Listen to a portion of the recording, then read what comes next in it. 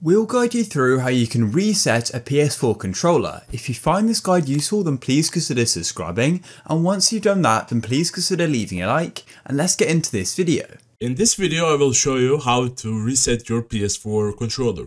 Resetting your PS4 controller can resolve a range of issues, so if you're having any problems with it, it's worth trying. So to hard reset your controller, you will need to flip it over and locate this hole right here that is next to the bolt.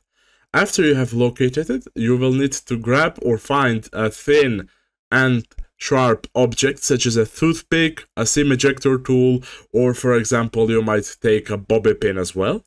After you have gotten this object, you just take it and you plug it inside of that little hole and just press for about 5 to 10 seconds. And as you can see, I'm currently holding. And when this pop-up shows up in the top left, that means that we have successfully hard resetted our controller. Now let's turn it on. And as you can see, just started lighting up and everything is functioning as it should be. That is it for this video. Thank you for watching. See you in the next one.